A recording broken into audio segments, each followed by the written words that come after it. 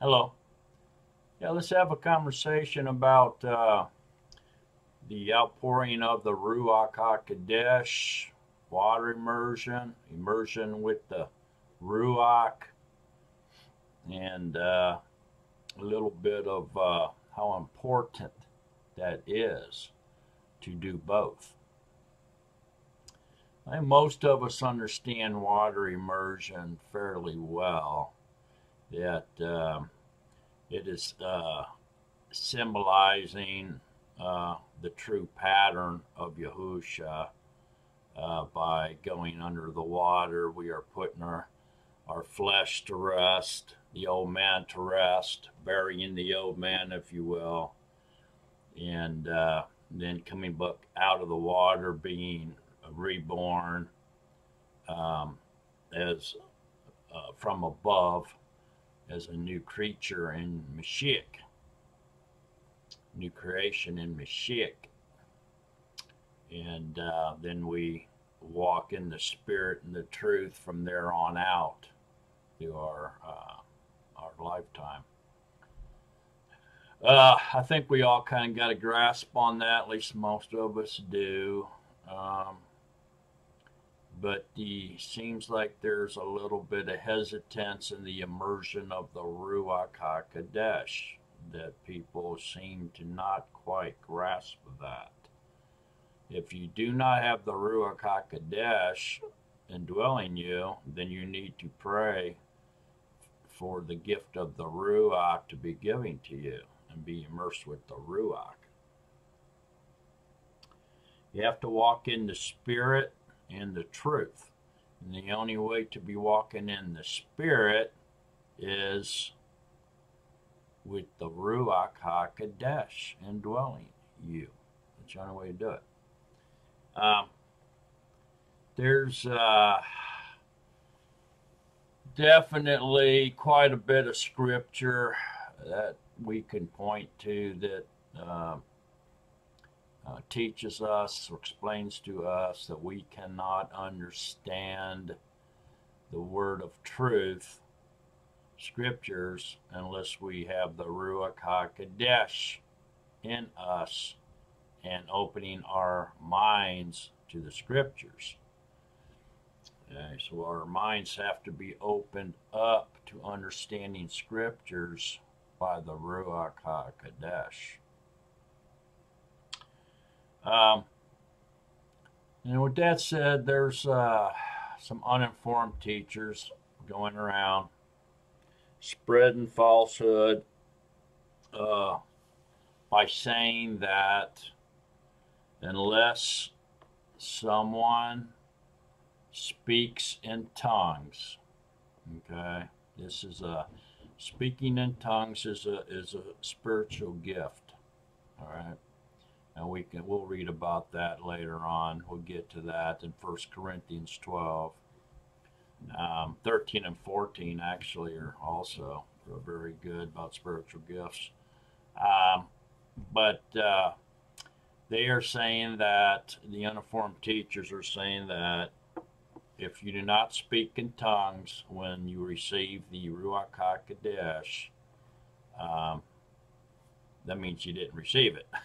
So in other words, the speaking in tongues is evidence that you have been immersed with the Ruach. And if you don't speak in tongues, then you have not been uh, immersed with the Ruach. Okay.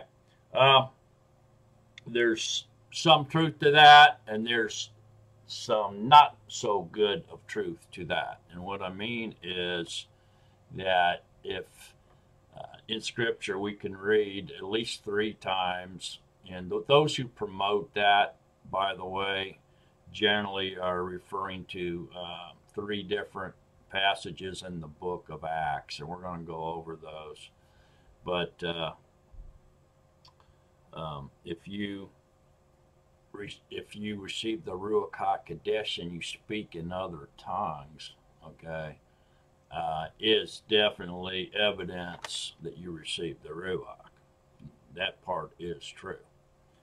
The part that says that everyone that is uh, receives the Ruach HaKodesh has to speak in tongues as evidence that they received the Ruach is the part that I disagree with. And because people who received the Ruach spoke in tongues, some did, and some uh, received other spiritual gifts. Okay, so there's nine spiritual gifts that can be received as we receive the Ruach. The Ruach itself is a gift. Okay. Um, and so uh, one of those is prophecy. So somebody could receive the Ruach and prophesy. You can receive the Ruach and, and uh, you could start magnifying or extolling Yahuwah. You know, I mean, there's all kinds of different uh, signs that accompanies uh, being um, immersed with the Ruach HaKodesh. And so this is what I want to go over, and uh, what this is what we you know come and study with me on this lesson about the Spirit, uh, being immersed with the water and the Spirit, and uh, hopefully we're going to focus mostly on the on the immersion of the Ruach, um, and uh, because I think most people have at least uh, a pretty good understanding of the water immersion. Okay.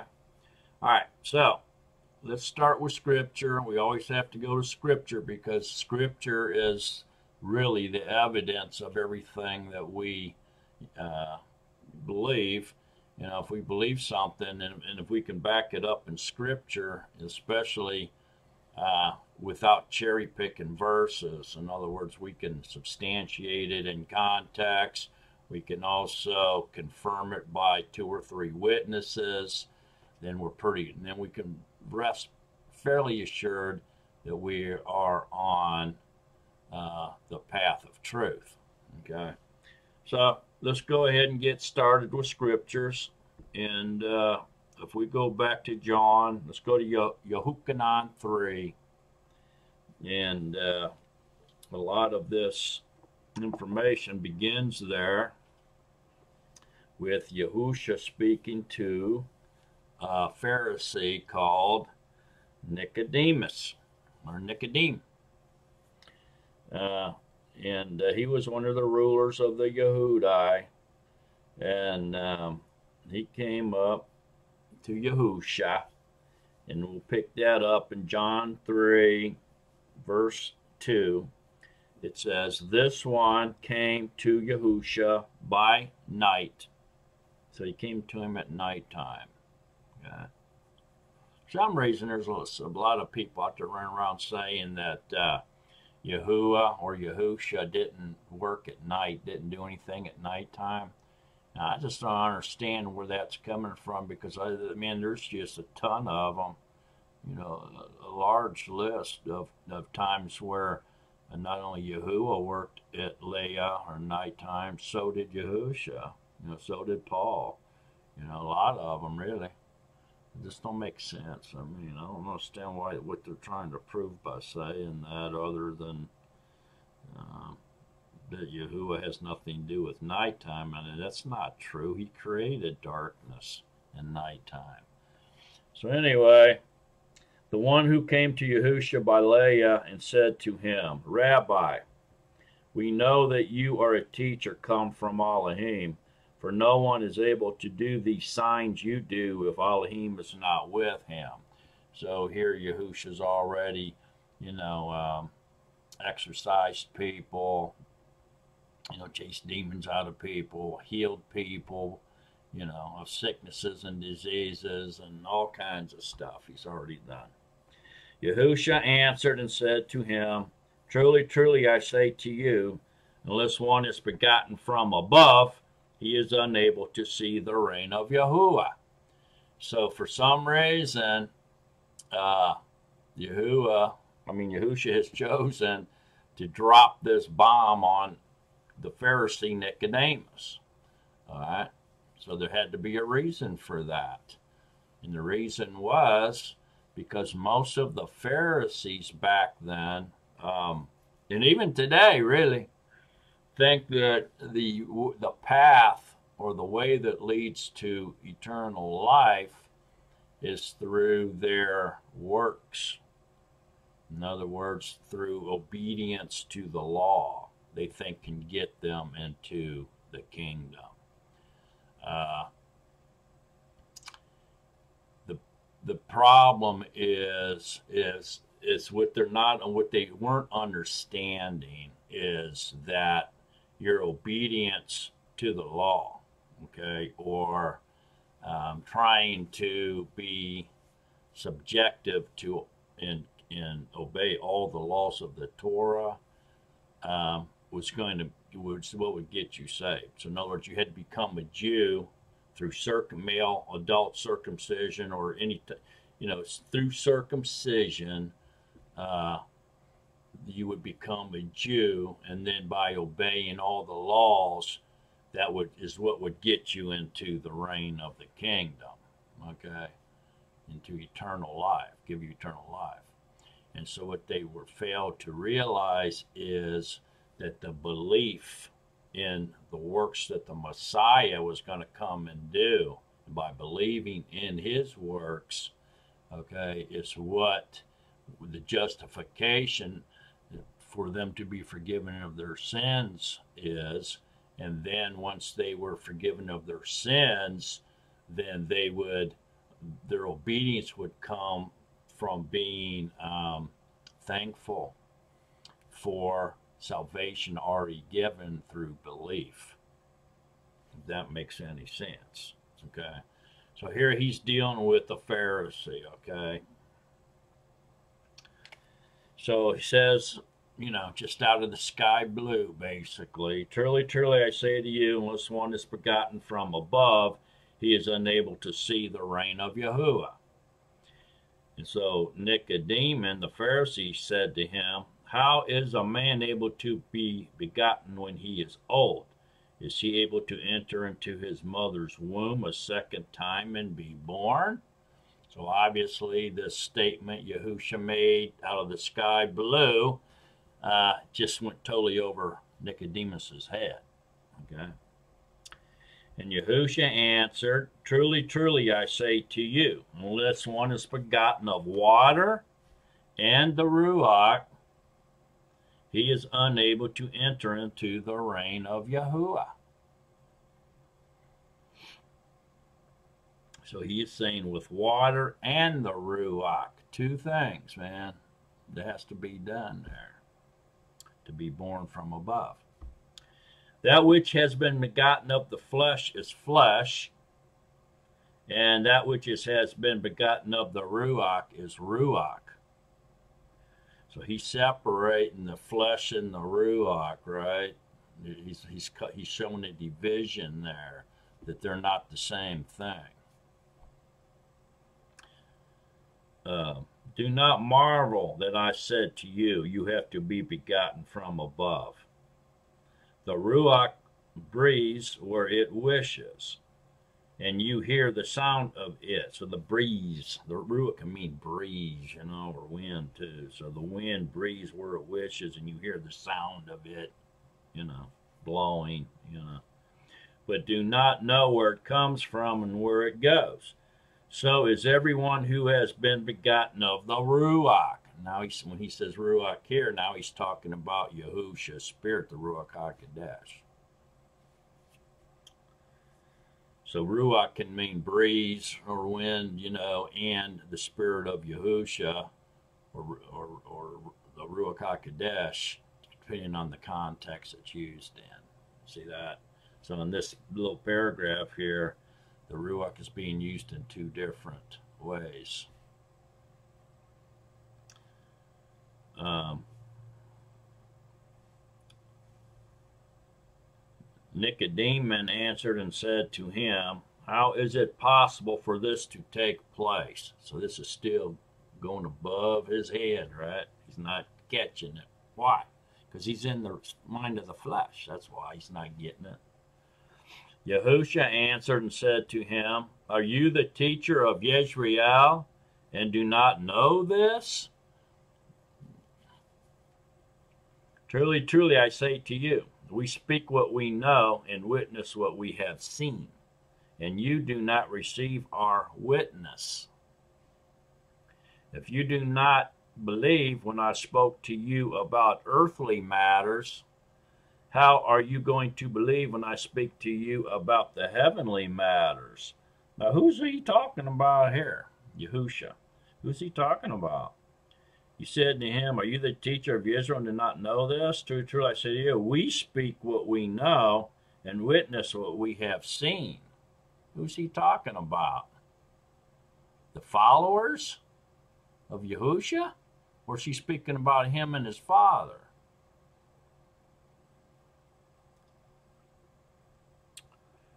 And no one has gone up Oh, if you do not believe when I spoke to you about earthly matters, how are you going to believe when I speak to you about the heavenly matters? So here again, he's making a, a, a division. Earthly matters, the flesh. Flesh is flesh. Begotten of the flesh is flesh.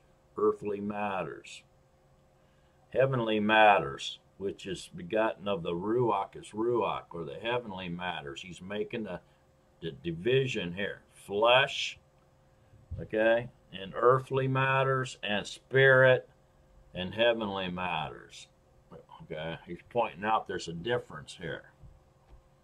That's why there's water in the spirit. You have to be immersed in the water and the spirit. And no one has gone up into the heaven except he who came down from the heaven, the son of Adam. And as Moshe lifted up the serpent in the wilderness, even so the son of Adam has to be lifted up. So now he's prophesying so that whoever is believing in him should not perish but possess everlasting life. So anyone who believes in his works okay, has everlasting life because they're justified by their belief in what he came and did and will do in, in his uh, um, blood offering for the sins of the world and rose himself back up from the dead, right, and ascended, and then sent back to Ruach. So those are all the works of Yahusha that you have to believe in in order to uh, possess everlasting life. You have to believe in him. So whoever is believing in him should not perish but possess everlasting life means you have to believe everything that he came to do. And he came to do a whole lot, really. There's a whole list of things that he came to do. For Elohim so loved the world that he gave his only begotten four sons, so that everyone who believes in him should not perish but possess everlasting life. And Elohim did not send his son into the world to judge the world, but that the world through him might be delivered at that particular time. Okay. He will judge the world. Okay. He didn't come as uh, the as the blood atonement uh, at this particular time in, in history to judge. Okay, that wasn't what he came to do, but he will come to judge later on. All right. Make no mistake about that. Okay, so let's move on here now. We've, we've seen that we have to be immersed in the water and the spirit. Um, it's pretty obvious. And then John 14, verse 25 says, These words I have spoken to you while still with you. But the Comforter, the Ruach HaKodesh, who is truth, whom the Father shall send in my name. So he's going to the Ruach HaKodesh is going to come in his name. Isn't that interesting? So what's the name of the Ruach? Yahusha. so Yahusha's indwelling spirit, right? And what does Yahusha mean? I am your deliverer. Yah your deliverer. See, so it's all Yahuwah. He shall teach you all and remind you of all that I said to you. Peace I leave with you, my peace I give to you. I do not give to you as the world gives. Do not let your heart be troubled, neither let it be afraid. You heard that I said to you, I am going away, and I am going to come to you. If you did love me, you would have rejoiced that I said, I am going to the Father, for my Father is greater than I. And now I have told you before it takes place, that when it does take place, you shall believe. I shall no longer talk much with you, for the ruler of this world is coming, and he possesses nothing at all in me. But in order for the world to know that I love the Father, and that as the Father commanded me, so I am doing, rise up, let us go from here. Now, this is a very powerful passage. Here, Yahusha uh, again reveals to us that you're going to have to be immersed with the Ruach because he's saying that uh, while he was still with us, uh, the, the Paralita or the Comforter or the Ruach, which is the Ruach HaKodesh, he just he tells you what that is. It's the the Comforter is the Ruach HaKodesh. He tells you that whom the Father shall send in my name, which will be Yahusha, indwelling spirit, he shall teach you all and remind you of all that I said to you. So very interesting. Uh, the Ruach HaKodesh is Yahusha's indwelling spirit.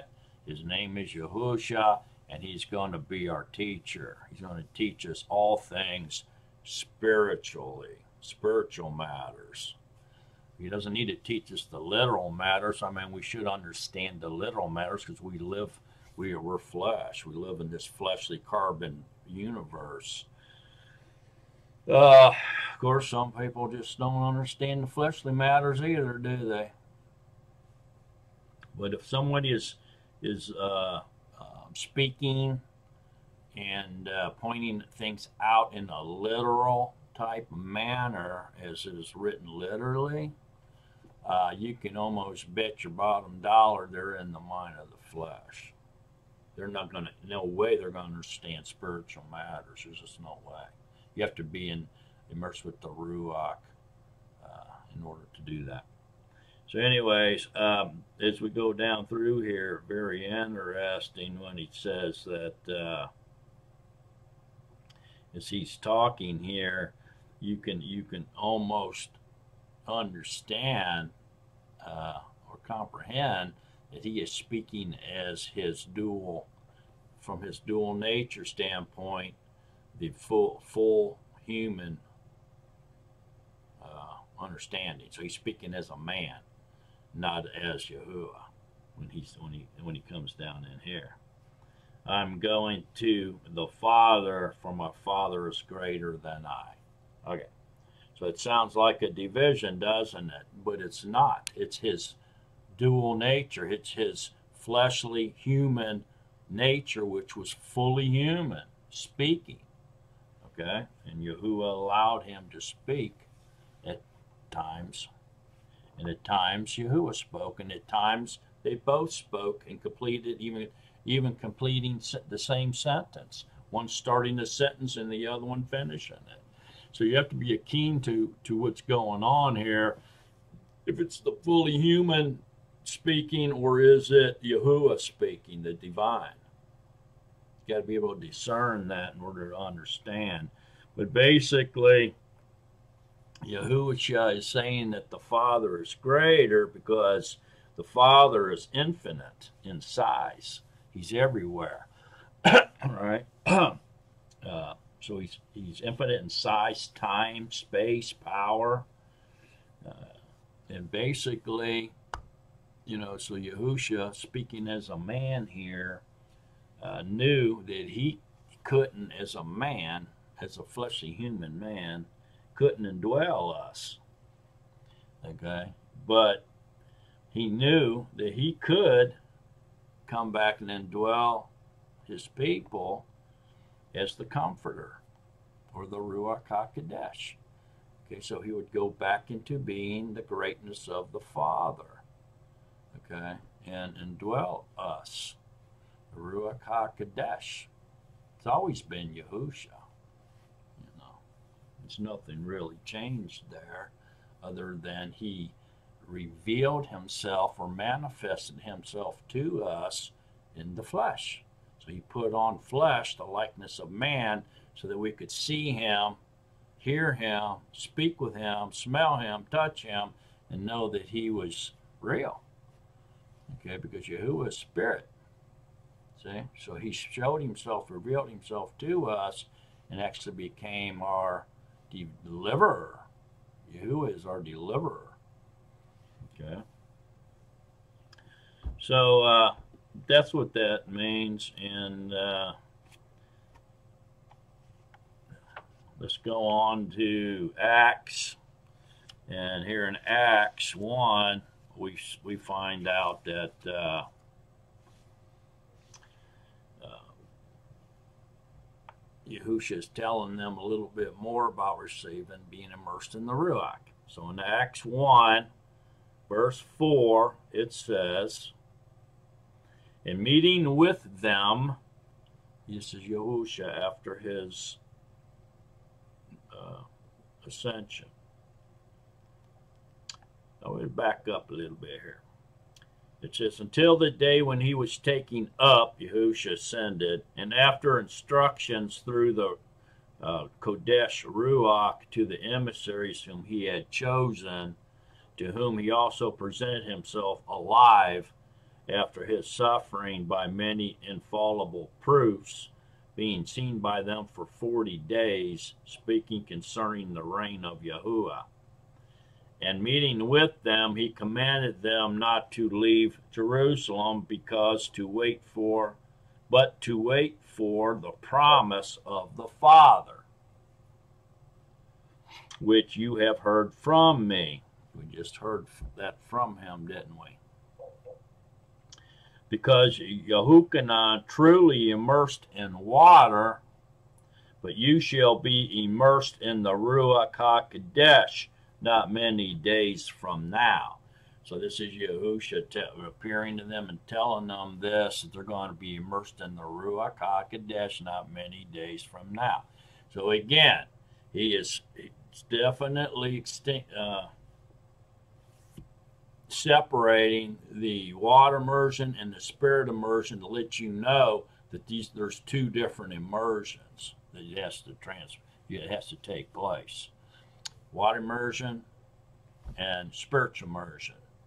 Okay? Uh, but he only spoke of the immersion of Yahuchanan, which was for uh, remission. You know, cleaning yourself of your sins, basically. It's kind of like animal blood sacrificing type deal, but he was doing it with water. okay, so then uh, we go to Acts 2 and um, 3 and 4. Uh, actually, we can go to Acts 2, 2, 3, and 4.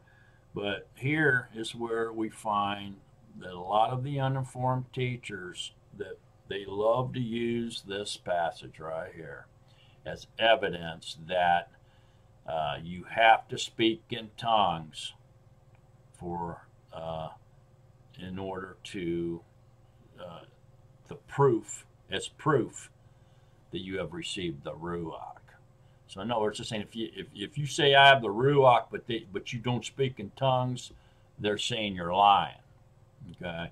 And this is what they're they're saying. Speaking in tongues is the evidence that you are uh, you have the spirit and you are being delivered. You have deliverance because you have the ruach in you. But you but you're lying unless you can speak in tongues. This is what they teach, and this is the passage they this is their number one go-to passage to prove that. Okay, and we if we take a really close look at it use common sense, we'll see that it just isn't so. So he goes in here and it says, And when the, the day of the festival of weeks had come, they were all with one mind in one place. Uh, so they were up in the upper chamber during Pentecost. We all know that. And suddenly there came a sound from the heaven as a rushing mighty wind. So they heard a wind coming.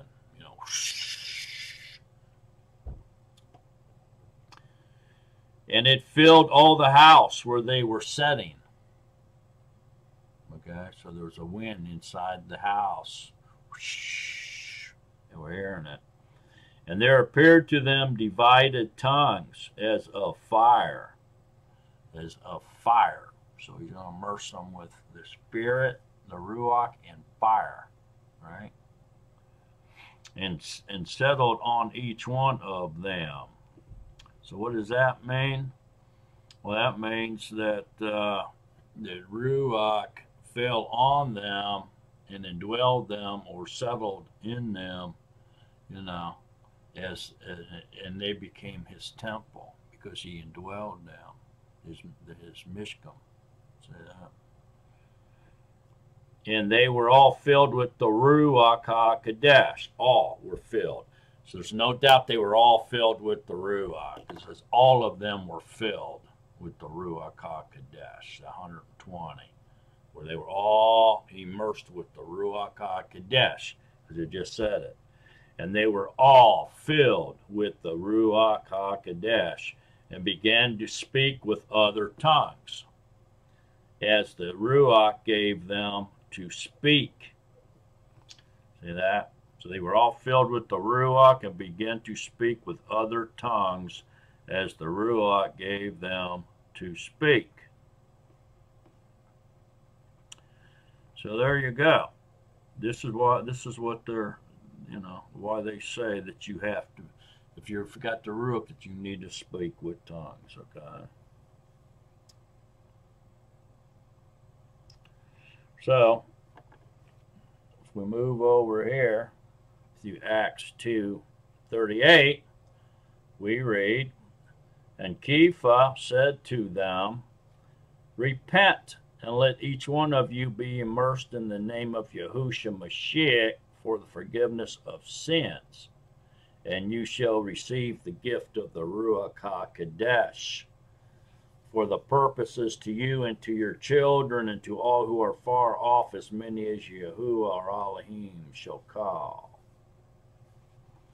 So, this right here is what Peter is saying is repent be immersed in the name of Yahusha in water.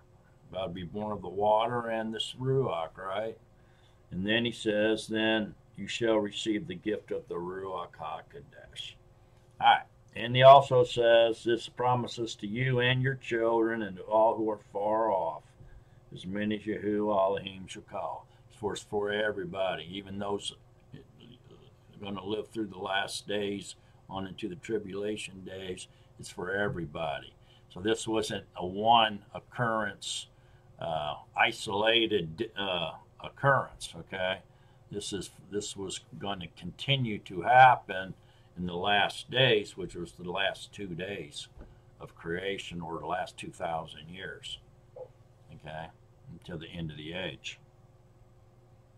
So this is what this is saying, and uh, it who knows why Peter broke it down into that uh, structure repent, be immersed in the name of Yahusha, and then uh, receive the gift of the Ruach HaKodesh, okay, for the promises to you.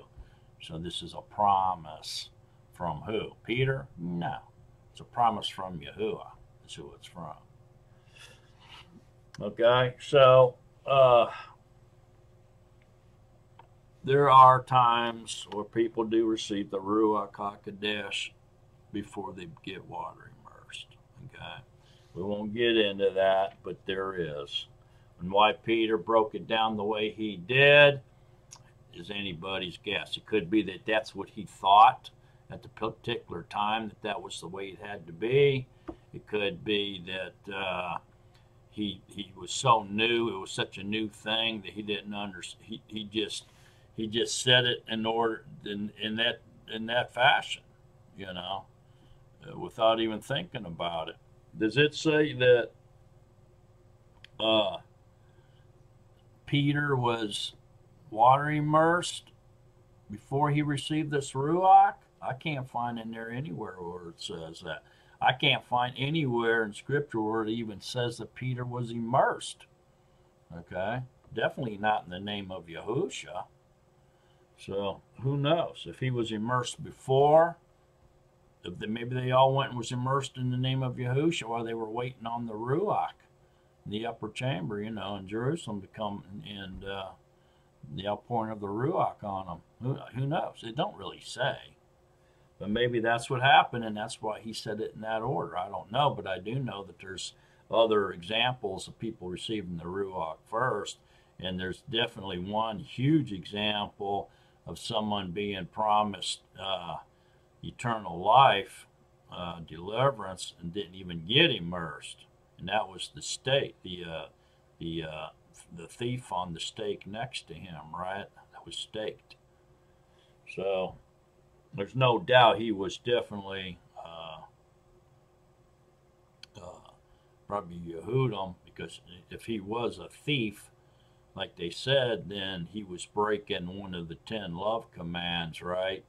Number eight, where uh, you do not steal, and of course we most of us know that any violation of any of the ten love commands or ten to debarim uh, was uh, the penalty for breaking any of them was death.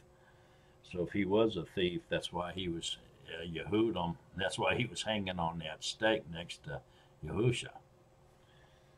Okay, so yeah, so the next one then would be uh, let's go to Acts 10. Take a look at Acts 10 real quick. Uh, 44. And we can go to 43. It says, uh, so Acts 10 43. To this one, all the prophets bear witness that through his name, everyone believing in him receives forgiveness of sins. So through his name, everyone believing in him receives forgiveness of sins. While Kepha was still speaking these words, the Ruach HaKodesh fell upon all those hearing the word. And those of the circumcision who believed were astounded. So those were obviously the Yehudim who was with Peter, or who was standing there listening to Peter. As many as came with Kepha, so they all the ones that came with Kepha, because the gift of the Kodesh Ruach had been poured out on the nations also. So all the people that weren't of the Jewish uh, race or Hebrews uh, were totally blown away because the outpouring of the Ruach had fallen upon the Gentiles who were present in their presence. For they were hearing them speaking with tongues and extolling Elohim. So here, so this is another passage they use to try to prove that you have to talk in tongues if you receive the Ruach. Well, right here it says, For they were hearing them speaking with tongues and extolling Elohim.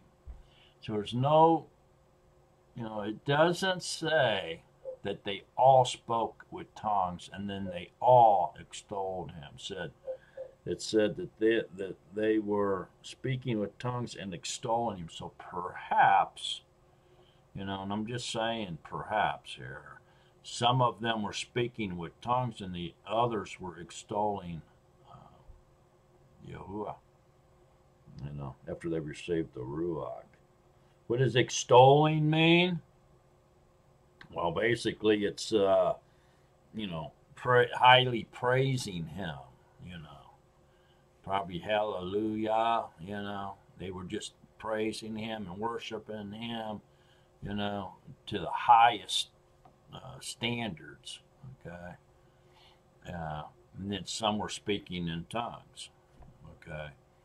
So, uh, yes, speaking in tongues can be a sign that they have received the Ruach, but extolling him upon receiving the Ruach, uh, you know, uh, giving him, uh, you know, praising him highly uh, can also be a sign, is what it seems to me.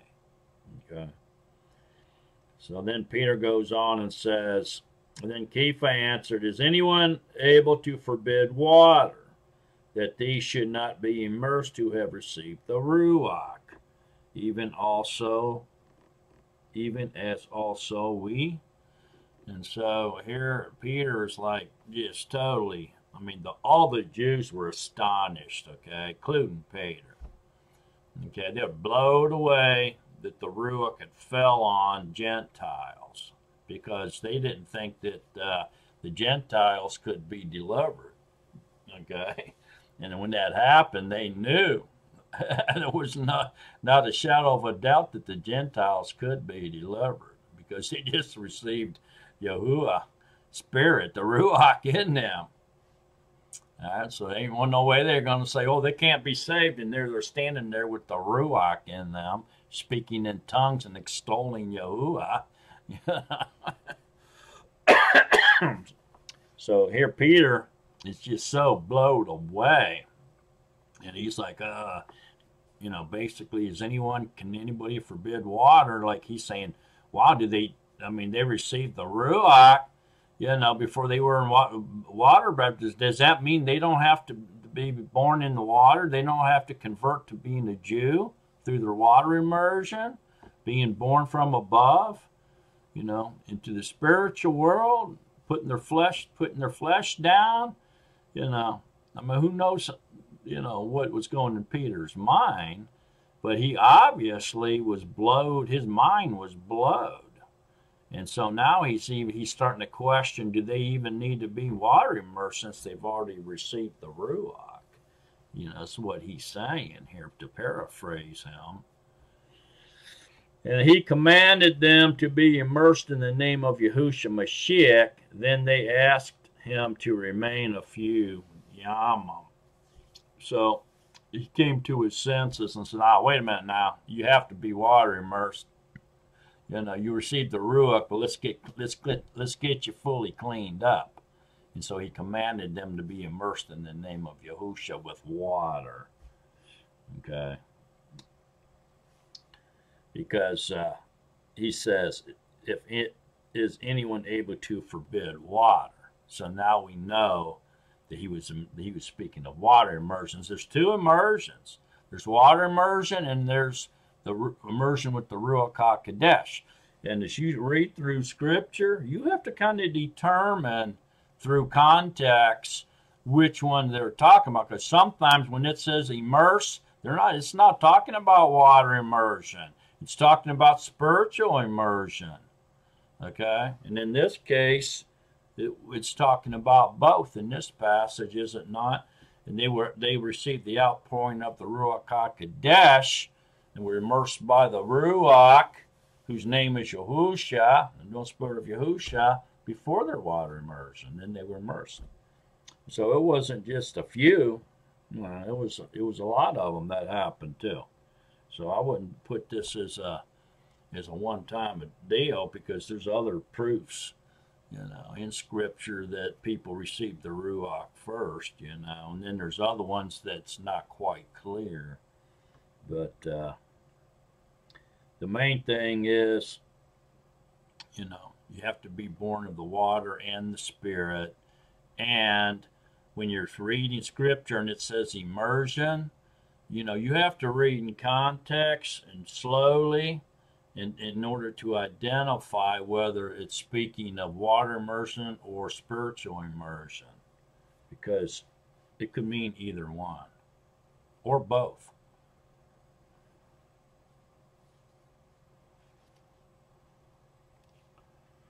And uh, You know, later on, Peter gives testimony to this. And uh, you can pick that up down there in 11. Uh, 15 says, And as I began to speak, the set apart Ruach fell upon them, speaking of the Gentiles, as upon us at the beginning. So he's talking to his the other uh, apostles or whatever, people that were in the upper chamber. And I remember the word, and I remembered the word of the master, how he said, Yehukanan indeed immersed in water, but you shall be immersed in the Ruach HaKadosh.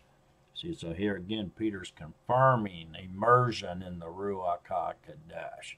So immersion, man, he coming, he's going inside of you. That's inner immersion, not outward immersion. Okay, he's going to indwell you. You're going to become his temple. That's what they did. He became the Mishkan. He, he, he came upon them and, and dwelled them as, as they being his Mishkan. That means he dwelled in them, not outside around them. So the water immersion is the outward cleansing, and then of course the Ruach HaKodesh is the inward immersion, is the in, in inward cleaning. When he comes into you, man, you're clean inside. He's cleaned you. Anything that Yahuwah cleans, don't you dare say it's unclean. Because if he's in it, it's clean. You better believe that. So if Elohim gave them the same gift as he gave us when we believed on the Master Yahushua Mashiach, how was I able to withstand Yahuwah? See that? And having heard this, they were silent and praised Yahuwah, saying, Then Elohim has indeed also given to the nations repentance to life. So the light just came on. Uh oh. You know, Elohim has also offered eternal life to everyone, the entire world, even the nations, repentance of life. Okay, or repentance to life. So you repent to receive life. And you believe not in just Yahusha, but everything that Yahusha did, okay, including being born of a virgin woman, um, his uh, atonement sacrifice and his death, his burial, three days and three nights in the tomb, his resurrection from the dead, his ascension back into the Shemayim, back into being the greatness of the Father, okay, the Creator and the Father of life, and then coming back as our Comforter, uh, the Ruach HaKodesh, indwelling us and us being His temple. Okay, you have to believe all that. Immersion of the water and the immersion of the Ruach, everything He did you have to believe. And that belief in Yahusha and all that Yahusha has done for us, okay, is the justification for your uh, forgiveness, for you to be forgiven of your sins and uh, given uh, immortality in the in the long in the end. Okay, so let's go over to well, let's go back to Acts real quick. quick. There's another one here we should touch on. It's found in Acts 19.6. So 19.6, it says, well, let's back up again here. Uh, and, and this is a, basically another thing they like to point to, but this is this is re-immersion. So what's happening here is uh, some of these folks have been were immersed by Yahukanan, the immerser, okay, which immersed for uh, remission of sins, right? You know, for the, uh, in other words, they would admit their sins, go under the water, and then they would be temporarily cleaned through by the immersion, right? And uh, back in the old days, beyond that, uh, the ancient times, uh, they were immersing people um, in water uh, as uh, uh, to be kind of re-cleaned, reborn through the water and, and become a Jew, okay, in order to become a Yehudim.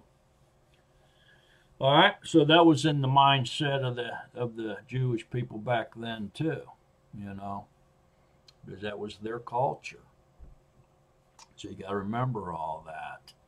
So immersion's kind of it kind of uh, you know came along through immersion, being immersed by water to be a Jew to, and, and, and to become a Yehudim to their culture and their race um, and to be like them, you know, or and uh, to being immersed as a cleansing uh, of your sins after confession, and then into being immersed into Yahushua, the body of Yahushua HaMashiach, into the spiritual realm, joining with the Ruach of uh, Yahusha as one, together as his bride. So you enter into the Ruach, into the reign of the kingdom, into the covenant, if you will, the blood covenant of Yahuwah through your water immersion through Yahusha. That's why you have to call on the name of Yahusha, because he's the door that allows you into the reign, kingdom reign. You have to go through him. So go through him to enter into the covenant as well. All right. So that's what it's, you know, it's became over time. You know, it's evolved, if you will, water immersion. So 19, I guess we need to back up to verse 1 to understand this. It says, And it came to be while Apollos was at uh, Corinth that Paul, having passed through the upper parts, came to Ephesus, and have, in having found some Talmidim he said to them, Did you receive the Ruach HaKodesh? So he's in, these are Ephesians he's talking to now. Did you receive the Ruach HaKodesh when you believed? Say, when you believed, not when you were immersed, when you believed. And they said to him, No, we have not even heard that there is a Ruach HaKodesh. So they're not even aware of they're being immersed by the Ruach HaKodesh. And he said to them, And to what then were you immersed? So if you weren't immersed by the Ruach HaKodesh, what were you immersed with? See that? A lot of people try to think this was with water, but he was he was asking them if they received the Ruach. And they're saying they didn't even know about the Ruach. And he said, Well, what were you immersed with then? Not the Ruach. See? And they said, into Yehukhanan's immersion. So now they're telling him that, oh, well, we were immersed with, with uh, immersion by Yehukanan for remission of our sins. You know, we just went in there and confessed our sins and, and got temporarily cleaned up, similar to animal blood offering, right? And Paul said, Yehukanan had immersed with an immersion of repentance. See? Confessed their sins, repenting. So they go into the water and they're temporarily forgiven of those sins. Their sins are temporarily covered up, just like blood, animal blood sacrifice was.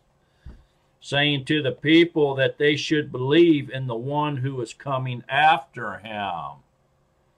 That is in Mashiach Yahusha and when they heard this, they were immersed in the name of the Master Yahusha.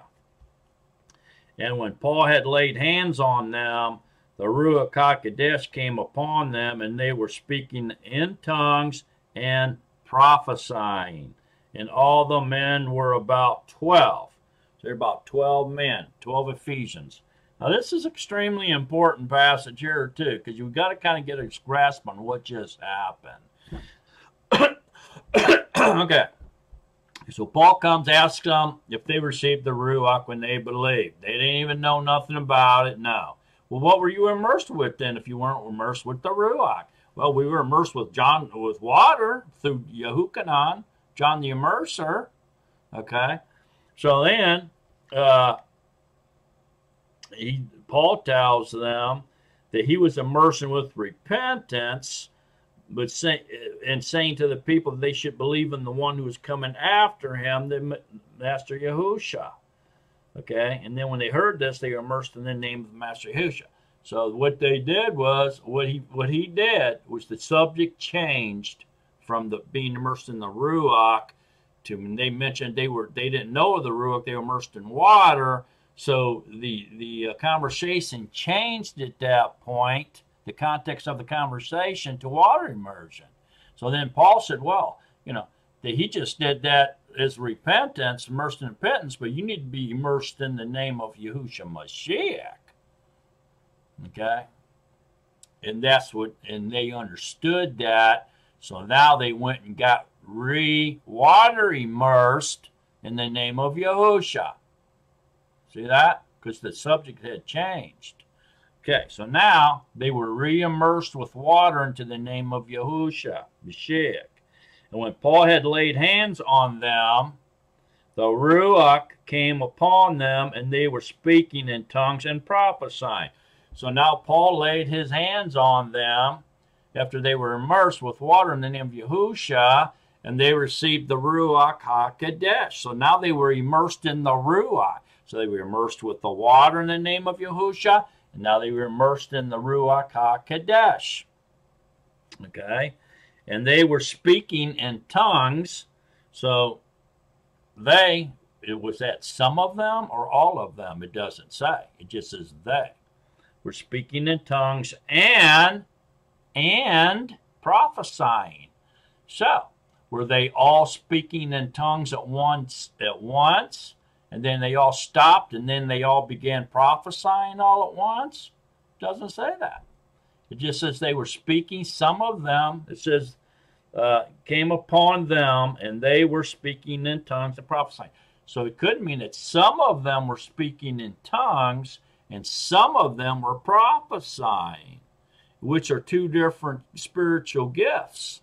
See that?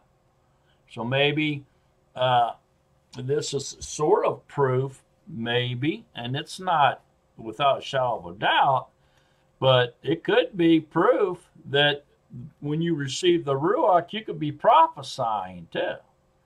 So, so far now, we've noticed, if, we've, if we're paying attention here, that the ones that have see, received the outpouring of the Ruach into them, the indwelling spirit of Yahusha in them, they have speak, spoke with tongues, extolled greatly, highly extolled, praised Yahuwah, spoke in tongues, and prophesied.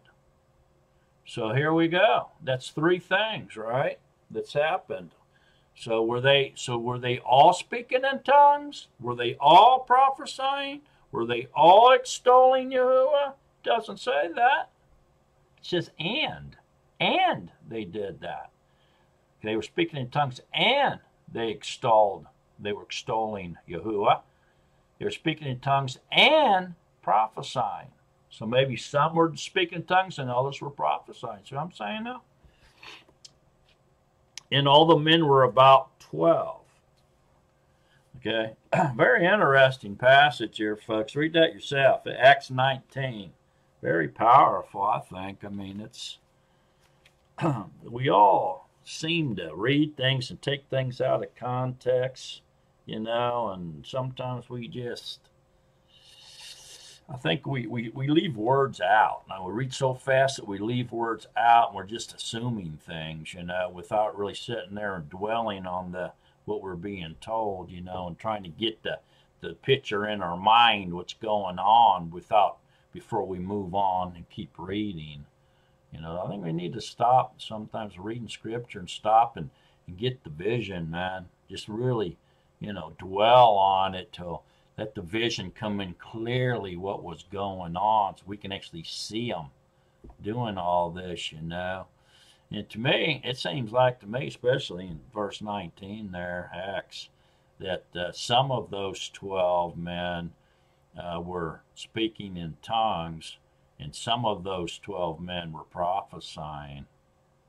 So I think they received different spiritual gifts at, this, at that same event. That's what it seems like to me. So Matthew 4, I indeed immerse you in water to repentance, but he was coming after me, is mightier than I, whose sandals I am not worthy to bear. He shall immerse you in the Ruach HaKodesh in fire. Come on, take a break. We'll be right back. I'll come back and we'll talk about being immersed in fire. See you in just a few seconds.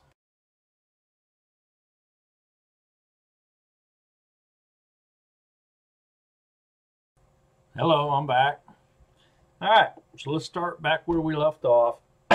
Me, Matthew uh, 3, verse 11 says, I indeed immerse you in water to repentance. Now, this is Yehochanan speaking. Remember, we just read about the people that were immersed with the immersion of Yehochanan. I indeed immerse you in water to repentance. So, say, it's confirmation what he was doing. He wasn't immersing them in the name of Yahushua HaMashiach because, why? Because Yahushua had not uh, ascended yet. He, he had not sent the Comforter yet. Okay, so they, he, they couldn't be immersed in his name yet because he hadn't completed the salvation plan, okay, or completed his works fulfilled the Torah and what it needed to be done in order for us to be delivered. Okay, so until he completed everything um, that he was sent to do, uh, then we couldn't be immersed in his name yet. What I'm saying? So, uh, Paul, I mean, uh, Yahukhanan's very clear here that what he was immersing uh, why he was immersing people with water. I indeed immersed you in water to repentance. But he who is coming after me is mightier than I, whose sandals I am not worthy to bear. He shall immerse you in the Ruach HaKodesh and fire. So here we have a third confirmation, or fourth, that uh, you will be immersed in the Ruach HaKodesh. And then John adds a very interesting suffix to the end of this statement, which is by fire. And by fire. And fire. Okay? So very interesting. Okay? What the fire is. And I and I think um, there's a lot of different opinions, you know what I'm saying? But to me, I think the fire is your zeal. It's a zeal, being zealous for Yahusha and spreading the Basora to, to people. So you're on fire or you're immersed with the Ruach, and fire means you are now going around teaching the Basora, spreading the Basora with the don't spirit of the Ruach in you, and it has put you on fire lit you on fire, man. You're, in other words, you're extremely zealous. You have a lot of zeal for the, the and for Yahusha.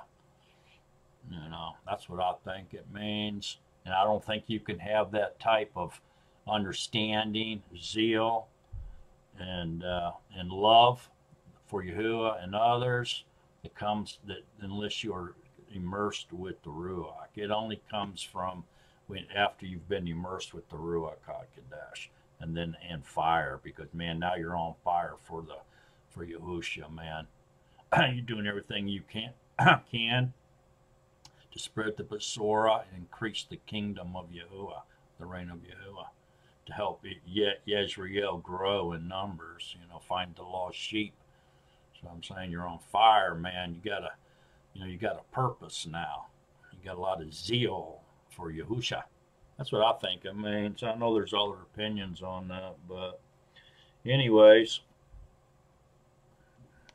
that's what I think's happening there. Now, if we go over to uh, Ephesians, we can read this. It says in Ephesians 4, it says, Let no corrupt word come out of your mouth but only such as is good for the use of building up, so as to impart what is pleasant to the hearers. And do not grieve the Ruach HaKodesh of Yahuwah, by whom you were sealed for the day of redemption. Let all bitterness, bitterness and wrath and displeasure and uproar and slander be put away from you, along with all evil, and be kind towards one another, tender hearted, forgiving one another, as Yahuwah also forgave you in Mashiach. Become them imitators of Yahuwah as beloved children, and walk in love, as Mashiach also has loved us, and gave himself for us a gift and an offering to Yahuwah for a sweet smelling fragrance. So there you go. So do not grieve the Ruach HaKodesh of Yahuwah by whom you were sealed for the day of redemption. So in other words, you know, start imitating Yahusha. You know, imitate Yahusha, walk in the true pattern of Yahusha, and have a zeal or be on fire for Yahusha and his word, you know, his Besorah, the good news, you know, of what he did, that he came and what he did, his works that he did in order for us to be be given of our sins and be given eternal life. Okay. Should be zealous for that. I mean, that's that's powerful stuff, man. That's some good news, man. Hey, we don't have to die forever. We don't have to die and go to dust and never know anything uh, that's going on ever again. No, we can be raised up from that and back to and given back eternal life in perfection, in love, pure love. Man, it's powerful, powerful message right there. Powerful testimony. You know, needs to be spread with zeal. So here we find out that we can grieve the Ruach, you know, that's in us. The Ruach of Yahuwah was given to us so that we were sealed for the day of redemption. That seals us for the day of redemption. Man, do you have to have that Ruach, man? You have to. That's pretty obvious. To be sealed for the day of redemption. And so, how do you grieve the Ruach? Bitter, bitter, having bitterness, wrath, displeasure, uproar, slander, you know, uh, evil, you know, that kind of stuff. So, be, you, you, know, walk in humility, gentleness, meekness, be kind towards one another, tender hearted, forgiving one another. Okay? That way we don't grieve the Ruach. We have to be imitators of the Ruach. And if we're imitating the Ruach, then we're not, go- we're not going to uh, grieve him. If we go opposite of what he is and who he is, then we're going to grieve him. You know? Can you imagine? You have the Ruach in you, sealing you for the day of redemption, and you're doing evil and these other things, uh, and then you're grieving him. He's like, oh man, I, he can't hardly stand to stay in you because you're letting the flesh, the mind of the flesh, control what you're doing. You know, he can't hardly take it. You know, it's grieving him. So don't grieve him, man. You go to First Thessalonians chapter 5, uh, verse 19 says, Do not quench the Ruach. Bam, that's it. Then right after it says, Do not despise prophecies. Prove them all. Hold fast what is good. Keep back from every form of wickedness. And the Yahuwah of peace himself set you completely apart, and your entire Ruach and being and body be preserved blameless at the coming of our Master Yahushua Mashiach. He who calls you is trustworthy, who also shall do it. so there, again, it tells us, do not quench the ruach. Now, what does that mean? Well, We just found out that we are immersed with the Ruach HaKodesh in fire. We have a zeal for Yahusha and his message, right? And the good news, the Basora. And if we quench that by telling people, ah, you know, you can't, there ain't no such thing as spiritual gifts. Oh, calm down. You're just being zealous. You don't have to do all that. Just chill out, man. Obey the commands and sit there and be quiet, man. Just be obedient. You don't have to do nothing. Does that, does that have to do with obedience? If, if it doesn't, then what are you doing it for? In other words, they're discouraging you. By discouraging you, okay, and making you feel like your your zeal for Yahusha, okay, and for others, your love for Yahuwah and others is is worthless, basically, they're quenching the Ruach. They're putting out the fire, man. See? And fire. He, they're putting out your fire. That's what quenching is. They're quenching the fire. Okay? So they're they're in other words, they're raining on your parade. Okay? if you will. That's a pretty good idiom, really. They're raining on your parade. Okay? They're letting the air out of your balloon. Your balloon's going flat. Okay? Why? Because they're quenching the ruach. That's poison. That's wormwood, man. That's that. if someone's on zeal for Yahuwah, let them be on zeal for Yahuwah, and let them proclaim the Basora, and let them brag on Yahuwah all they want. Because he that's how he immersed them with his Ruach HaKodesh and fire, man. He gave them fire. He gave them zeal for him. And you're going to quench it by telling them to, to chill out? You don't have to do all that? Oh, man. You're quenching the Ruach. It says, do not quench the Ruach. We need to learn to bridle our tongues, tame our tongues, really, man. I mean, it's it's almost ridiculous how we all, and, and when I say we all, I'm including myself, man. You know, how we all just think we know everything and, and we tell everybody else how to act and what to do and what to say. And, you know, oh, he just being zealous. He's just a zealot. He's just being zealous. He's kind of zealous acting person, you know. Who in the heck we think we are, man? We're going to quench the Ruach? It says, do not quench the Ruach. Do not put out the fire, folks. Do not despise prophecies. Prove them, but do not despise them. So, what does that mean? Well, do not despise prophecy because when people are, there's examples when people are received the immersion of the Ruach, they began to prophesy, man. Even Peter himself prophesied, didn't he? He sure did. He absolutely did Acts 2. He received that Ruach. He began to prophesy to Joel too. He sure did about the day of Yahuwah, actually. Uh, so don't despise prophecies. Why? Because, man, if we go back here and take a look at Revelations, I believe chapter 19 says it fairly well.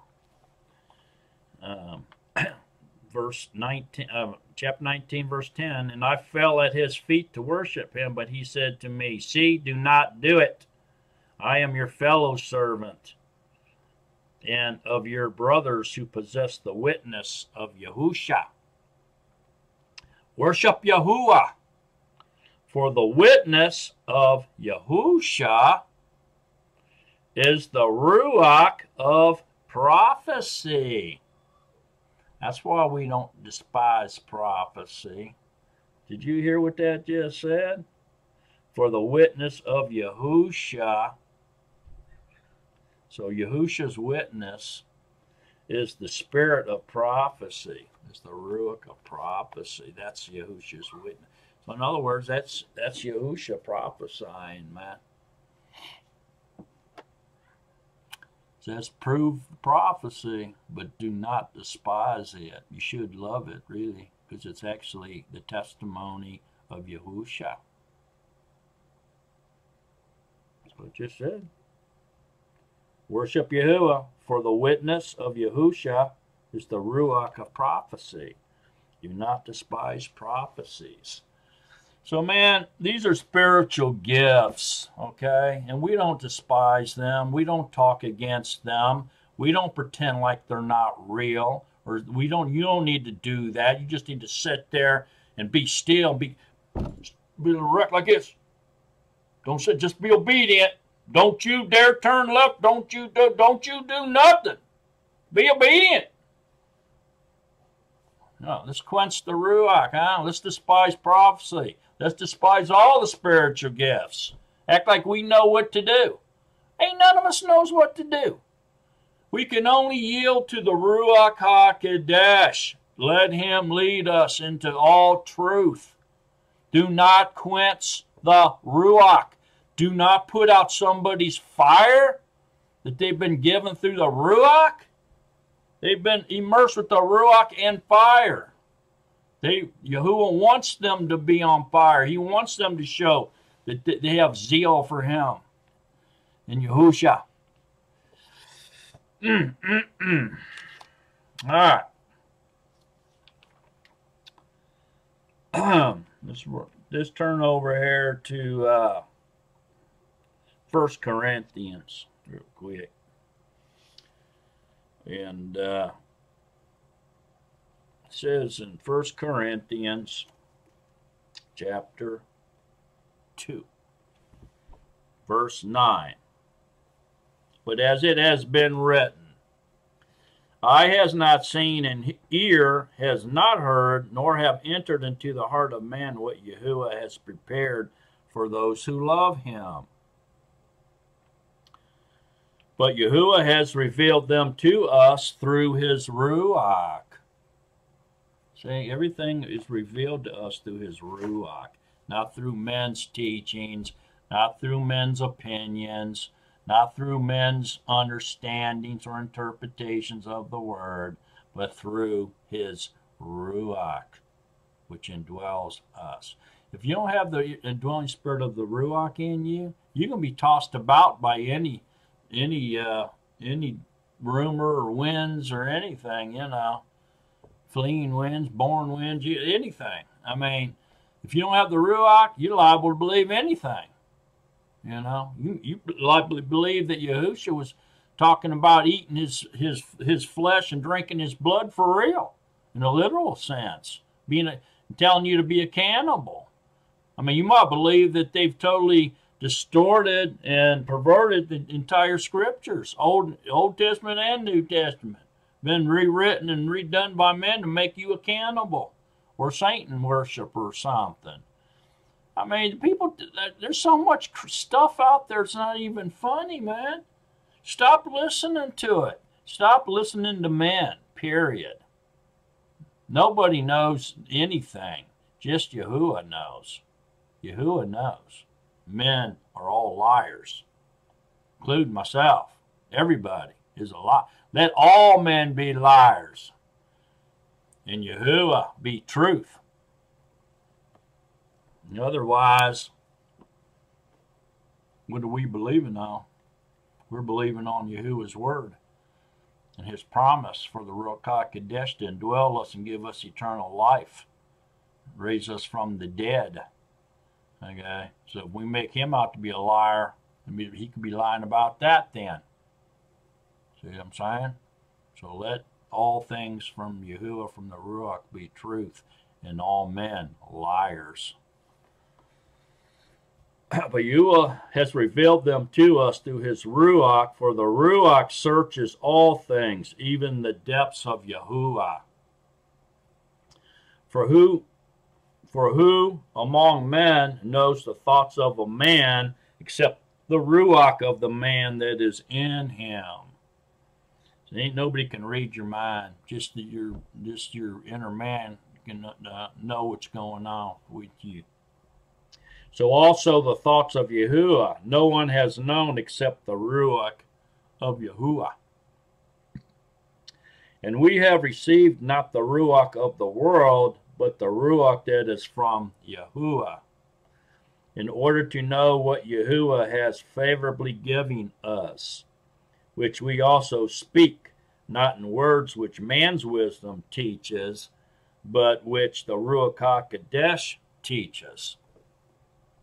Comparing Ruach like things with Ruach like things. But the worldly man does not receive the things of the Ruach of Yahuwah, for they are foolishness to him, and he is unable to know them, because they are abstractly discerned. But he who is Ruach like discerns indeed all things, but he himself is discerned by no one. For who has known the mind of Yahuwah? Who shall instruct him? But we have the mind of Mashiach. If you have the indwelling spirit of the Ruach HaKodesh in you, you do. Okay. Very powerful, man. Very, very, very powerful passage here. Uh, so basically, no one knows what's in your mind except you. Okay?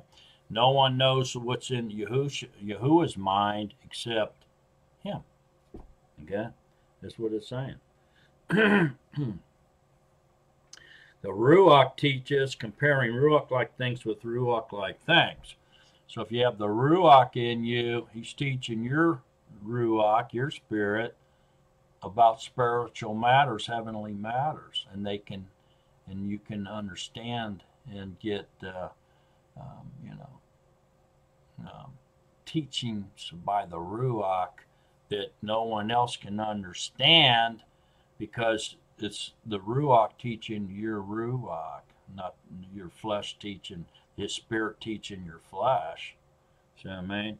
But the worldly man does not receive the things of the Ruach. See, so the flesh, the worldly man, the mind of the flesh cannot receive the things of the Ruach of Yahuwah for they are foolishness to him. So, in the spiritual mind, you receive the things of the spirit of the Ruach and understand them, and, and you get an understanding of them. But in the mind of the flesh or the worldly man, you do not because you think they're foolishness.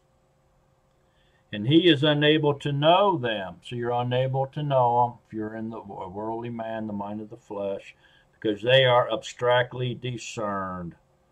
But he who is Ruach like discerns indeed all things, but he who himself is discerned by no one. so that means no one knows what, what's going on in your mind between your spirit and Yahusha's spirit. Just you know.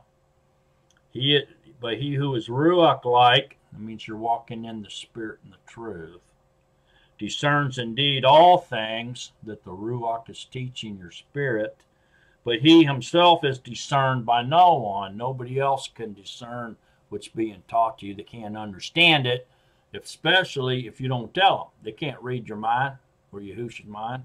They don't know what's going on in your spiritual being. For he who has known the mind of Yahuwah, nobody. Who shall instruct him? Nobody. But we have the mind of Mashiach, if indeed the Mashiach indwells us. See that? So you have to have the Ruach HaKodesh in you to understand Ruach-like things or heavenly things or scriptures. Why? Because scriptures is Ruach-like. They were written by Yahusha, influenced by Yahuwah, and only in, the mind of the flesh, in the spiritual realm, can you understand it. Can't understand it in the mind of the flesh. They can under people in the of the flesh can understand literal things, but they can't go beyond the literal. That's why you have people running around thinking that Yahushua is teaching us to eat his flesh and drink his blood, uh, uh teaching cannibalism, because they're in the mind of the flesh and they're just they're just understanding that in a literal sense. They can't understand what that spiritual meaning is behind that. And the spiritual meaning behind that is that Yahusha is the manna from heaven and the living waters. Okay? And by believing in him, we receive his Ruach HaKodesh. Open wide and let the living waters be poured into your mouth and eat of the manna from heaven, right? That's the Ruach HaKodesh. He ain't talking about literally eating his, being a cannibal, eating his flesh and drinking his blood. Just the one, the only reason he was saying that was to prove that those people could not receive, that would did not have the, uh, the understanding of the Ruach. They weren't walking in the Spirit and the truth, man. They were taking everything he said literal, and therefore they couldn't understand the message. You see? And there's no way anybody was going to understand anyway until after his works were completed. He sent back down the Ruach, the Comforter, to teach us. See what I'm saying? So, that's pretty clear, really. So now, I guess then the other place to go is to uh, over to First Corinthians 12. Okay, and that's that's pretty much uh, you know pretty much all about the uh, spiritual gifts, that proving that there's just more. And uh, if really, if you get time, read 1 Corinthians 12, 13, and 14 in context very carefully. Uh, because this is a lot of the, the uninformed teachers, you know, they try to get on here and they twist and twist and spin the scriptures to try to make it fit into their denominational uh, dogmas, you know, and uh, uh, you need to read it yourself and get discernment uh, through the Ruach. Okay, if you don't have the Ruach, then get praying for the for Yahuwah to give you the gift of the Ruach. Um, if and get your water immersion done in the name of Yahushua. Repent with a repenter's heart are you truly sorry for disobeying Yahuwah's commands and breaking his love uh, commands and uh, being disobedient and being a criminal and all that? You know, you have to really mean it, though, man. I mean, you, you need to come. If you're not humbled, dropping down on the floor, on the ground, your face on the ground, you know, crying, totally broken down, beat up, broken down, and sorry because you've realized how uh, bad of a person you have been, uh, then you haven't got that repent repent of heart yet, man. You know, because once you get to that point, boy, Yahuwah will start. He'll he'll hear your your prayer of repentance. If you just do it half haphazardly, like you don't really care, you know, half-heartedly. Oh yeah, I'm sorry for doing it. Now will you save me? You know, mean, you're really not. You haven't. You're not broken down in spirit and body. You know, down to the ground, man, crawling around like a worm. You know, then you really haven't reached the stage of repentance required to get Yahuwah's attention, in my opinion. All right. So anyway, 1 Corinthians chapter 12. And concerning Ruach-like gifts, brothers, I do not wish you to be ignorant. You know that you were nations led away to the dumb idols, even as you might be led. Therefore I make known to you that no one speaking by the Ruach HaKodesh or the Ruach of Yahuwah says Yahusha is a curse, and no one is able to say that Yahusha is master except by the Ruach HaKodesh. So there you go. So you can't call him master and him accept you or know you except by the Ruach HaKodesh.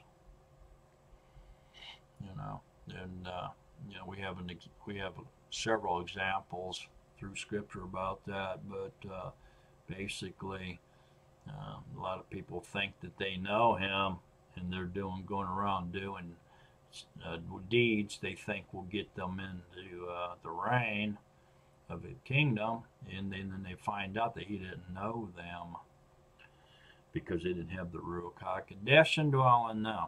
That's why he doesn't know them.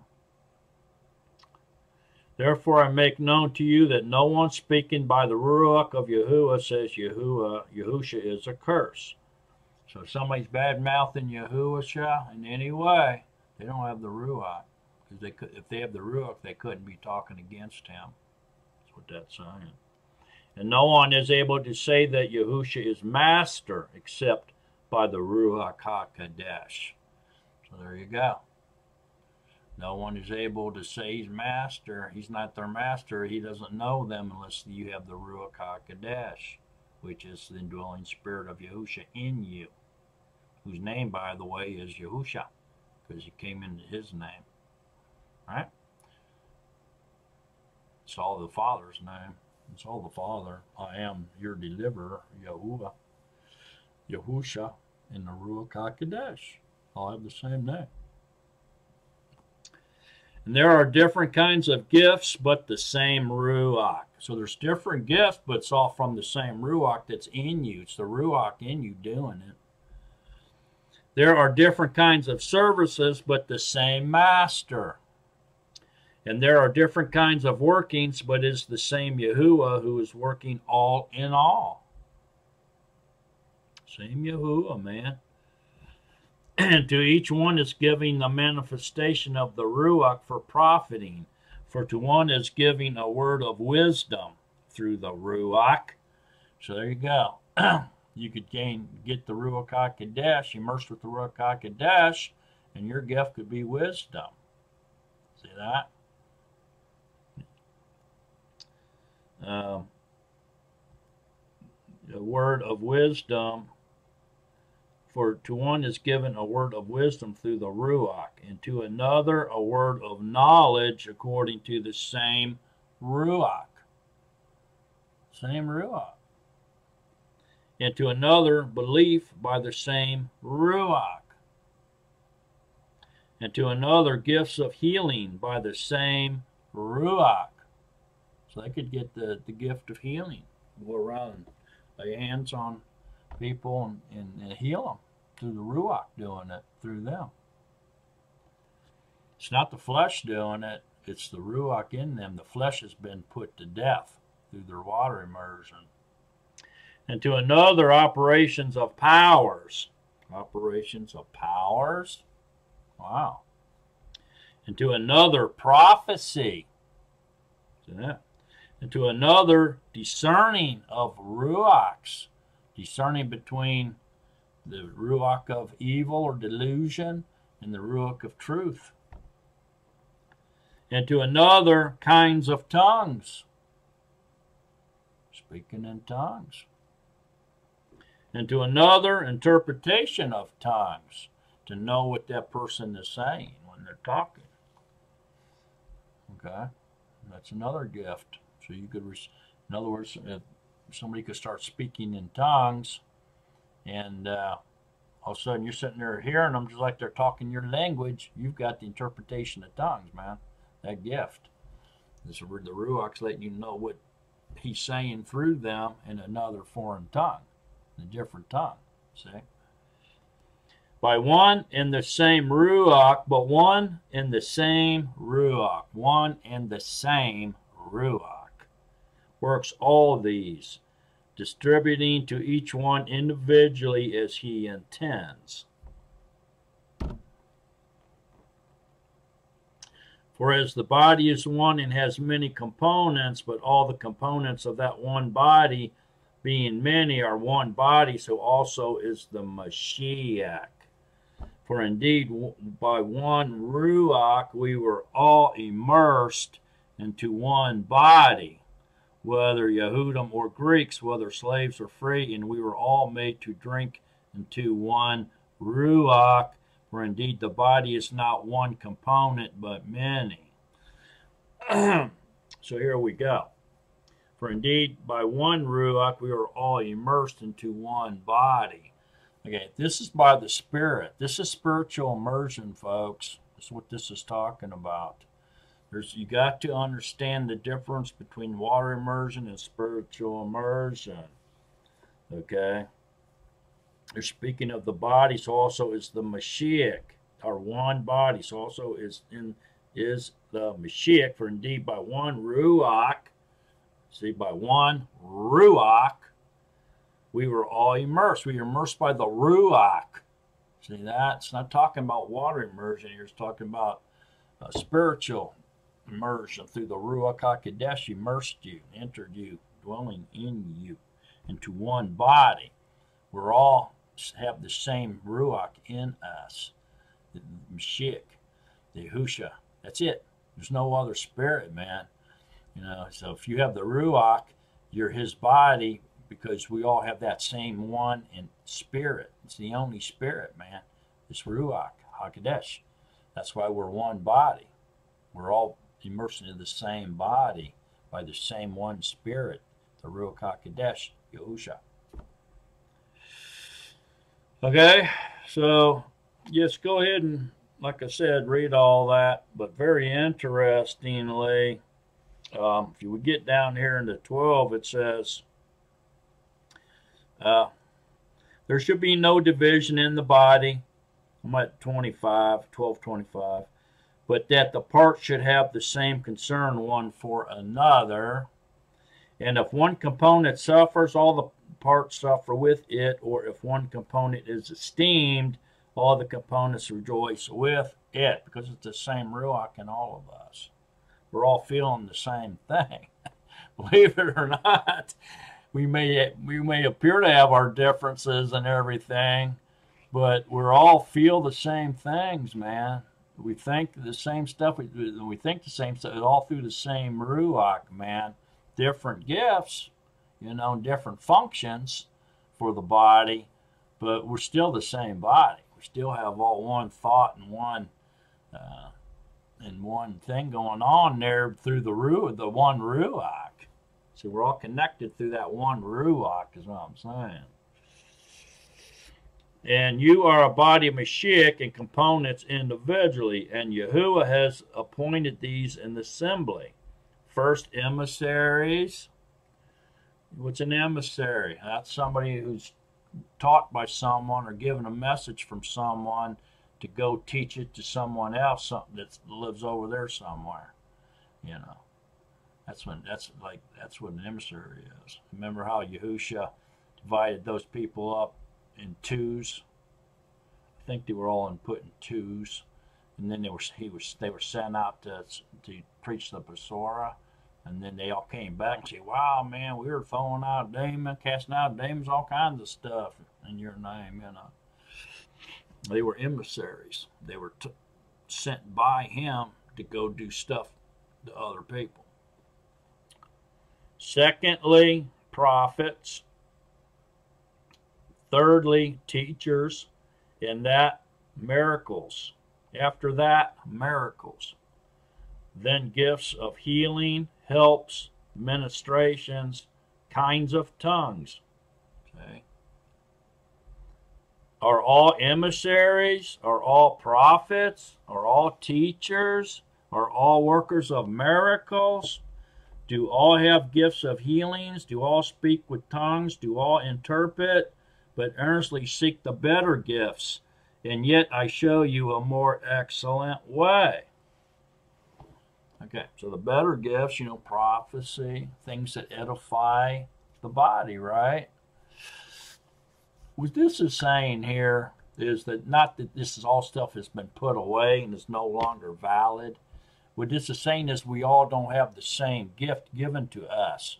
You know, although it's the same ruach, we're all different components and we all have different talents and different gifts given to us by the one Ruach.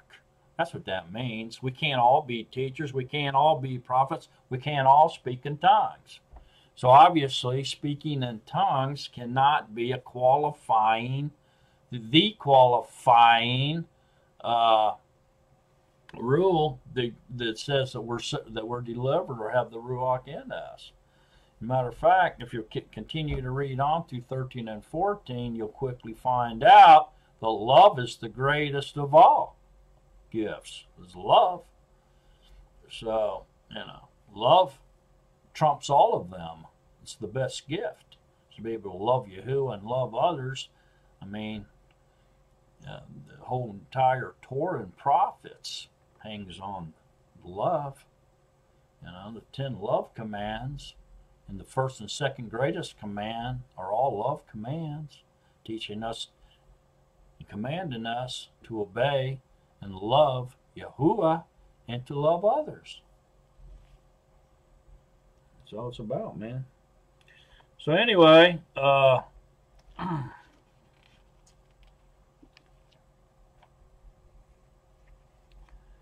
I think this is uh, pretty much a wrap on that. Um, if if we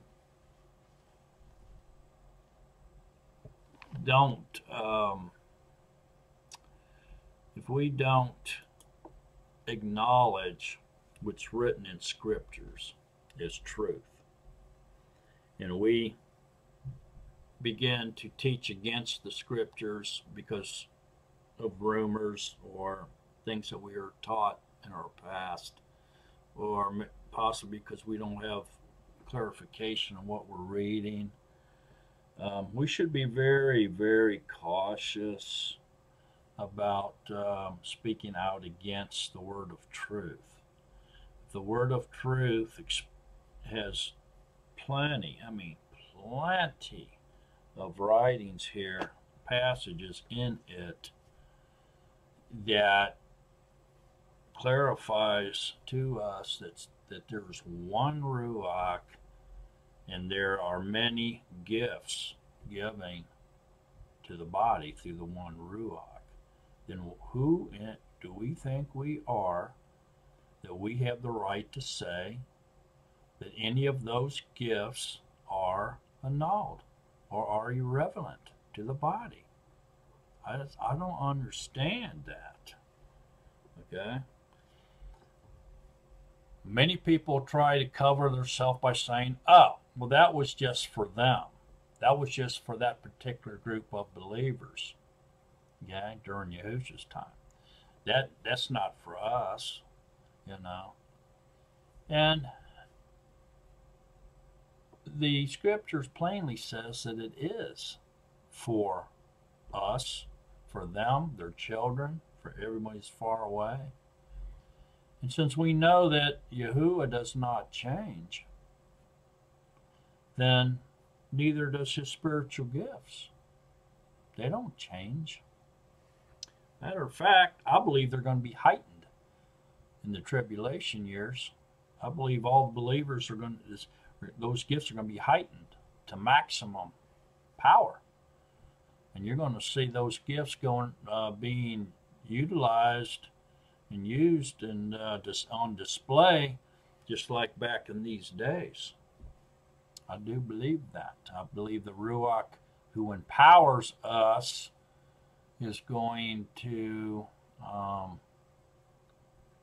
show people in the tribulation years, man, you know, with his people, that his people are his people. And he he's going to empower them to do great miracles and healings, you know, casting out demons and so forth and so on, just like the first century Nazarene did. but, uh, you know, the logical understanding is that after we receive the Ruach HaKodesh and uh, especially the the twelve, uh, you know, the uh, the ones that were the 120 Nazarene who spoke in tongues, and that some of them prophesied. Uh, the Ephesians, when they spoke in tongues and prophesied, is that not all of them that were present during those ev- those events spoke in tongues. So it kind of, with a little bit of common sense, I think we can conclude that some of them received the gift of speaking in tongues, some interpreted, some prophesied, some extolled, and other and and then there's other examples in Scripture where Yahusha commanded them to receive the Ruach HaKodesh, and uh, they went out and they actually just healing, casting out demons, and everything else because they had the Ruach.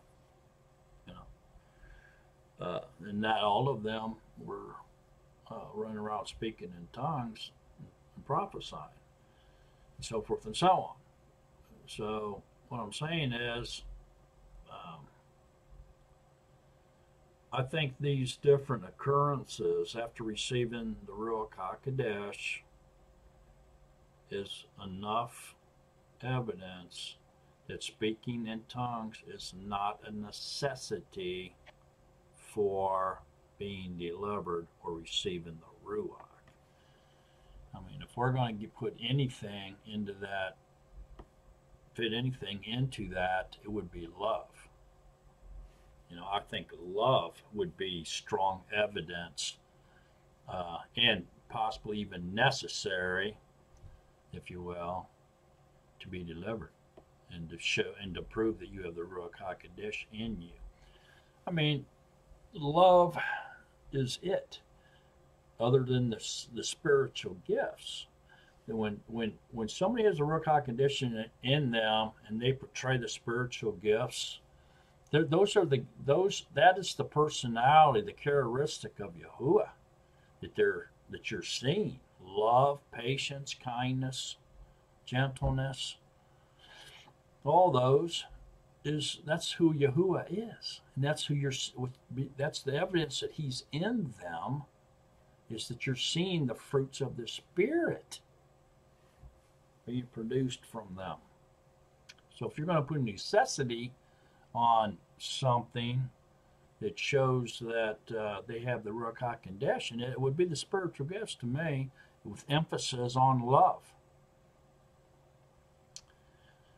Those false teachers or the uninformed teachers, mostly in Christianity, with different backgrounds, different denominational backgrounds, insist that the cases that we went over here especially in Acts 2 10 and 19, prove that all believers who receive the immersion of the Ruach HaKodesh must speak in tongues as evidence of being delivered.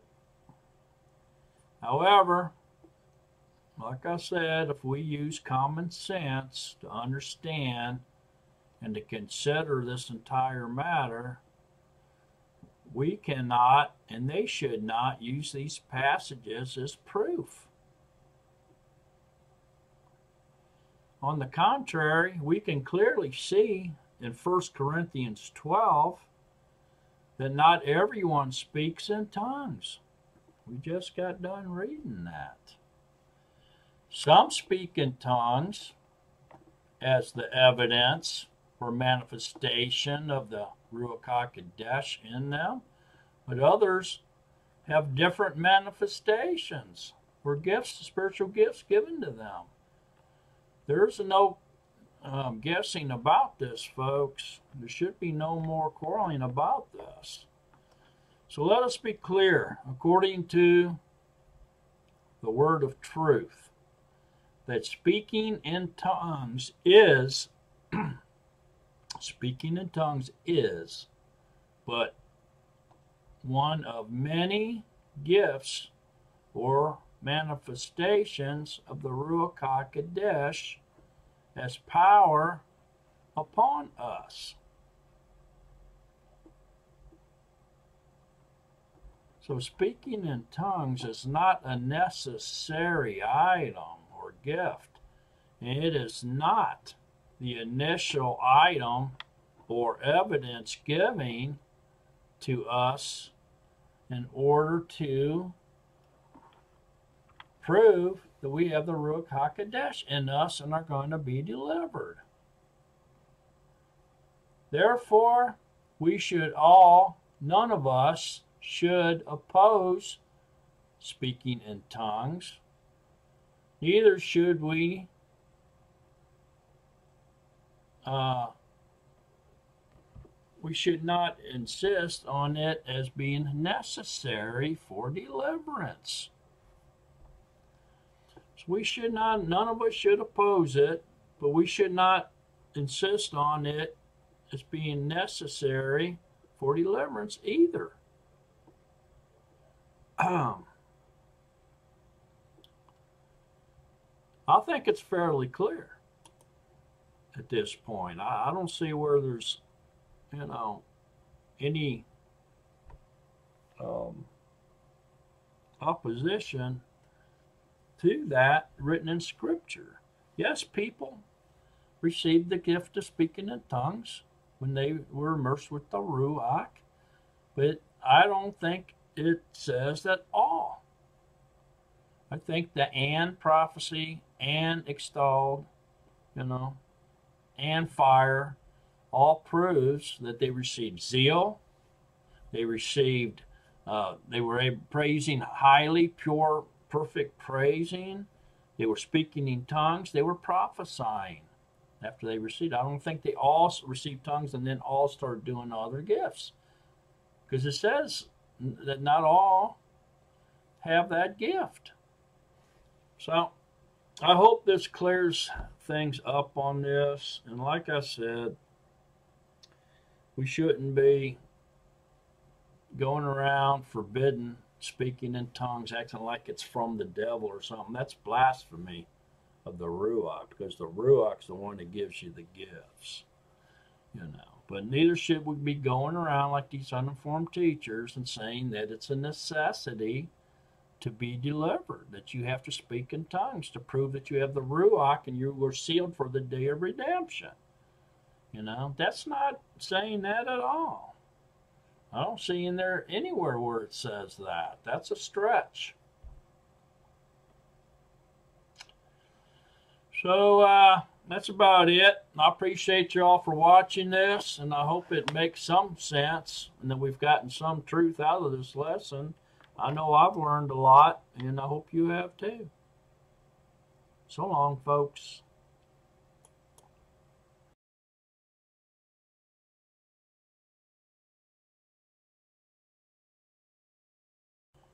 Bonus feature time. All righty. Romans 8. Romans 8.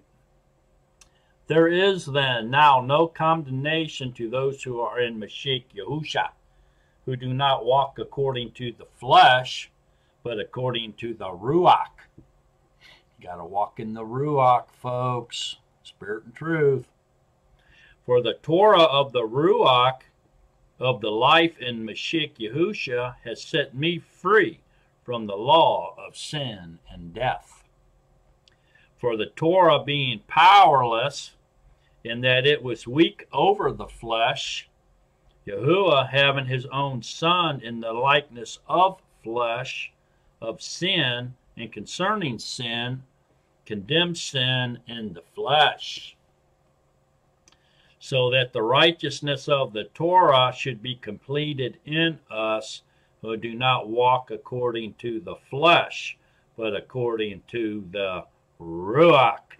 So the righteousness of the Torah can only be completed if you have the because if you have the Ruach Hakodesh and dwell you is what this is saying. Okay, the the uh, Torah being powerless and meaning that the Torah couldn't save you. Okay, it it, can't, it doesn't have the power to save you. Okay, um, through our belief, okay, in our salvation through the Ruach, um, through the salvation plan, we uh, we go we were able to um, obey the Torah, the commands of Yahusha out of love, and because we've already been delivered. See what I'm saying? Um, it's not something obeying the Torah does not save us. We know that can't be saved by obeying the Torah. We know that it's, it says here that it's powerless. Okay, just through belief in Yahusha and through the indwelling spirit of the Ruach are we able to obey the Torah. Okay. For those who live according to the flesh set their minds on the matters of the flesh, but those who live according to the Ruach, the matters of the Ruach. For the mind of the flesh is death, but the mind of the Ruach is life and peace. Yeah. Because the mind of the flesh is hatred towards Yahuwah, for it does not subject itself to the Torah of Yahuwah, neither indeed is it able. So we're not able to subject ourselves to the Torah and obey His commands until we we receive the indwelling Spirit of Yahusha in us. And those who are in the flesh are unable to please Yahuwah because they're not able to be obedient. You have to be in the mind of the Spirit, okay? You have to have the indwelling Spirit of Yahusha in you in order to be obedient. You can't, you can't, you can't be delivered by being obedient, folks, to the Torah. Torah doesn't have that, that power to, to save you. All right? It's just what you do after you're after the fact that you're have the indwelling spirit of Yahusha and you're sealed for the day of redemption, you're being delivered, do you obey? Because of the indwelling spirit of Yahusha in you, enables you to obey then, because now you're walking in the mind of the spirit, not the mind of the flesh anymore, if you have this indwelling Ruach. but you are not in the flesh, but in the spirit. See? If indeed the Ruach of Yahuwah indwells you, and if anyone does not have the Ruach of Mashiach, this one is not his. And if Mashiach is in you, the body is truly dead on account of sin, but the Ruach is life on account of righteousness.